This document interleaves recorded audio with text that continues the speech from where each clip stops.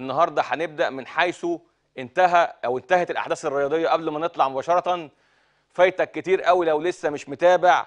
إحنا يا دوبك بنسخن والزمالك فتح على الرابع وتأهل رسميا إلى دوري المجموعات من دوري أبطال أفريقيا. مليون مبروك لنادي الزمالك وجمهوره والجهاز الفني واللاعبين ومستر كارترون بالأخص. الزمالك يفوز على تذكر الكيني برباعية نظيفة والزمالك كان فاز ذهابا على تذكر أيضا بهدف نظيف. اذا الزمالك رسميا يتأهل كأول فريق مصري إلى دوري المجموعات. مليون مبروك طبعا لنادي الزمالك والجمهوره وهقول جملة صغيرة وهنستنى التحليل بقى مع نجمنا الكابتن تامر عبد الحليم.